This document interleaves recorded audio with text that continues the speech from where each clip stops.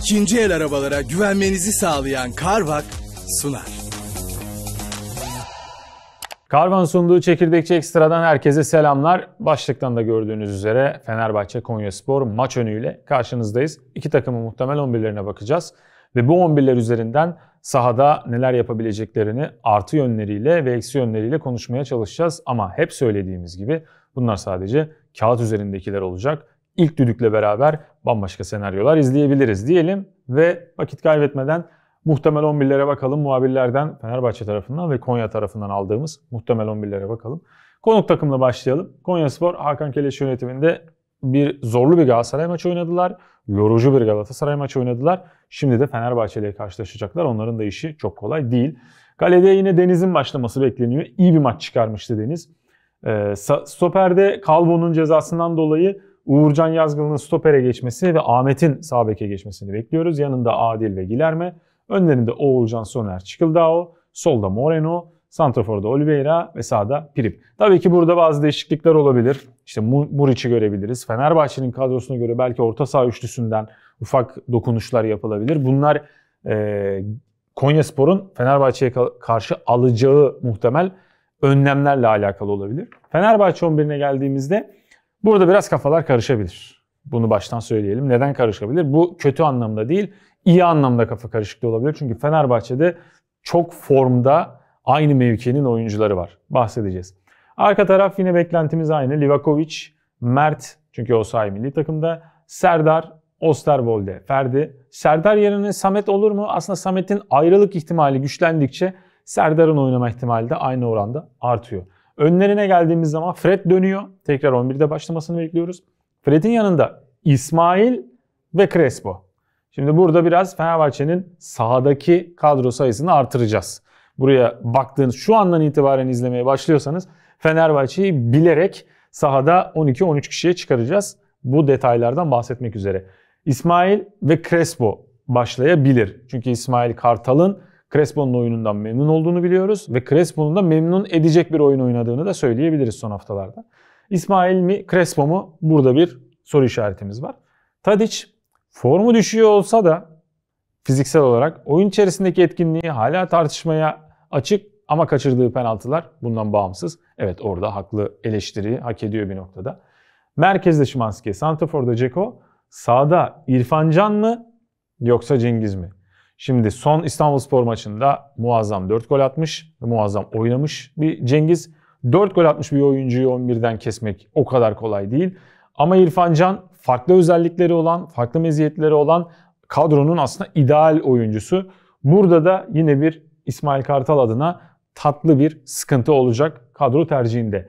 Yine az önce söylediğim gibi şu andan itibaren izlemeye başladıysanız şaşırmayın Fenerbahçe'nin kadrosu bilerek birer kişi fazla bu ve bu mevkide. Şimdi oyuna gelirsek, şimdi Konyaspor'un Galatasaray maçında da gördük ki oyunu kendi yarı sahasında kabul eden ve rakibi set oyunu oynamaya zorlayan, buna yönelik önlem alan bir yapısı var. Fenerbahçe set oyununa yerleştiği zaman ligin bu açıdan etkili takımlardan bir tanesi. O zaman soru işareti olan hatta şöyle yapalım yuvarlak içine alalım farkında olduğumuzda gösteren. Bu soru işareti olan kadro tercihlerinden İrfan öne çıkıyor. Set oyununa daha yatkın bir maç olduğu için Cengiz'den daha iyi ya da Cengiz gol attı, 4 gol attı ama 4 gol dışında yoktu gibi bir şeyden dolayı değil. Konyaspor'a karşı oynanacak oyundan dolayı. Bunun yanında yine aslında bununla bağlantılı Konyaspor'un e, rakip PPDA'sı yani rakiplerine yaptığı baskıda ki etkinliği diyelim en düşük takımlardan bir tanesi. Bu da Fenerbahçe'nin geriden oyun kurgulayarak demleme usulü diyebileceğimiz atakları yani aslında 10 artı pas dizisiyle çıkacağı atak sayılarının daha fazla yapacağı. Bu da Fenerbahçe'nin iki bekinin de yani geriden oyun kurguladığı için aslında Fenerbahçe o zaman ne olacak? Oyun kurulumunu mesela şurayı temizleyelim. Şu fazlaları da alalım. Biz İrfan Can diyelim mesela burada. Geriden oyun kurulumunu 2 artı 1 şeklinde yapacak Fenerbahçe. Burada zaten 3 kişiyle oyun kuracağı için Fenerbahçe'nin 2 bekini de geriden oyun kurguladığı için hücuma çıkarmasını e, çıkarma ihtimalini yukarıya çekecek. Bu sayede de Fenerbahçe'nin yine kanat oyuncularını hücumda içeriye doğru hatta Ferdi'yi de burada dahil edebiliriz. Daha rahat sokmasını sağlayacak. Yine bu açıdan da İrfancan tercihiyle Cengiz tercihinde %50-%50 e, dengeden bahsedebiliriz. Fenerbahçe'nin Konyaspor'a karşı Galatasaray maçından da nasıl diyelim aldığımız ilhamla Konyaspor stoper ve bek arasındaki boşluğu değerlendirme olasılığını iki taraftan da yüksek görüyoruz. Bu açıdan da özellikle Ferdi'nin bol pozisyon bulacağı, bol bol ataklarda etkili olabileceği, skor katkısı yapabileceği bir senaryo gözümüzde canlanabilir. Bu açıdan da Konyaspor'un bu stoper ve bek arasında verdiği boşluk. Çünkü Galatasaray'ın da Konyaspor'a karşı bulduğu pozisyonlarda özellikle Kerem Aktürkoğlu'nun sızmaları genelde bu bölgelerden yapıldı. Eğer Saşa Boy oynasaydı o da yine aynı etkinliği yapacaktı. Fenerbahçe kadrosunda bu noktada Ferdi gibi elinde özellikli bir oyuncu var. Bu demek değildir ki diğer öndeki oyuncular yapamayacak sadece Ferdi yapacak. Öndekiler zaten bunu yapabiliyor.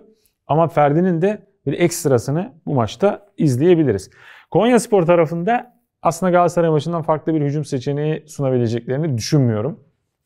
E burada belki iki tane senaryo ortaya çıkabilir. Oliveira kendisini sadece stoperlerin arasına atmıyor. Aslında bunu yapmıyor. Ee, kenarlara açılarak oynamaya çalışıyor. Kenarlara açıldığında özellikle Serdar'ın eğer oyuncuyla beraber birebir eşleşirse mevkisini bıraktığında onun yaratacağı boşluğa Çıkıldao'nun da çıkaracağı paslarla Moreno'nun sızmaları tehlikeli olabilir. Ki iki tane hücum opsiyonundan bir tanesi buyken diğeri sadece Moreno'nun kendi yarı sahasından hızlı geçişlerle top taşıması olacak.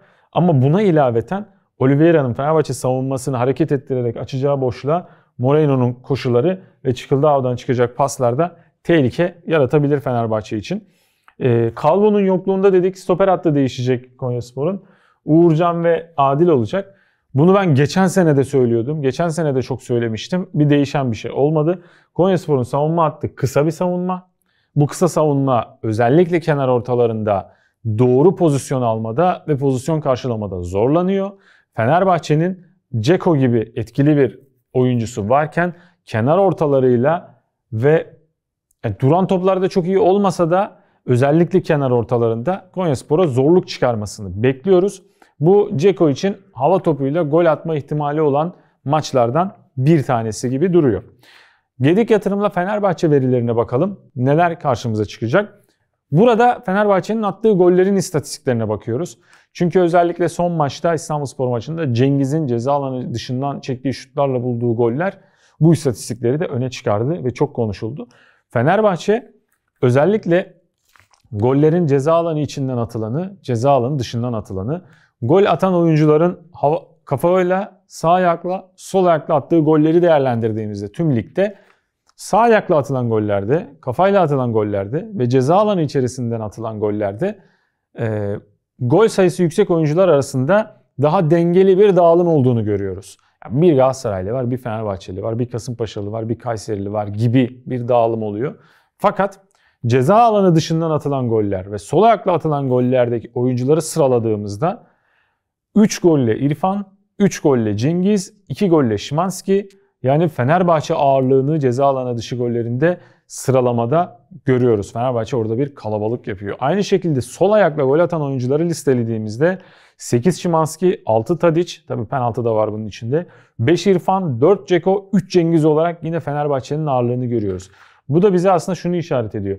Fenerbahçe'yi ne kadar derinde savunursanız savunun, ne kadar kademeli savunursanız savunun, özellikle oyunu sağ kanattan içeriye doğru çevirdiğinde ve kaleyi karşısından gördüğünde gol üretme meziyetine sahip farklı çeşitte oyuncuları var. Geçişi oynayabilen Cengiz'i var. Sete yerleşebilen İrfan'ı var. Santrafor'u sol ayakla gol atabiliyor. Hakeza 10 numarası ceza alanı dışından gol atabiliyor. Tüm bu özelliklerine bakıldığında Fenerbahçe bu istatistiklerle de kendisini diğer takımlardan ayırmış oluyor. Fenerbahçe'nin Konyaspor'a karşı muhtemel 11'i Konyaspor'un 11'i. İki takımın artıları eksileri genel hatlarıyla bu şekildeydi. Tabi sahaya çıkınca oynanan futbol her şeyi belirler. Hava durumu belirler. Soğuk bir İstanbul akşamında oynanması bekleniyor maç. Hakemin kararları belirler ama umuyoruz ki maçın sonunda hakem değil futbol konuşulur. E, oyuncuların yapacağı hatalar ya da bir oyuncunun ekstra performansı belirler. Bizimkisi sadece kağıt üzerinde bir ön tahmin. Sizler de yorumlara lütfen tahminlerinizi, beklentilerinizi, maça dair görüşlerinizi yazın. Bir sonraki Çekirdekçi Ekstra'da başka bir maçta görüşmek üzere. İkinci el arabalara güvenmenizi sağlayan Carvak sundu.